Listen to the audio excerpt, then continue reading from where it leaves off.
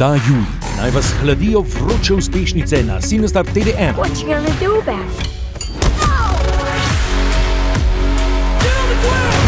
No one could be prouder of his boys than I am of you guys.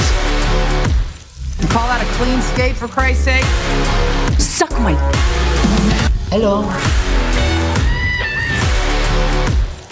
Filmska uspešnica v juliju na Sinestar TV1.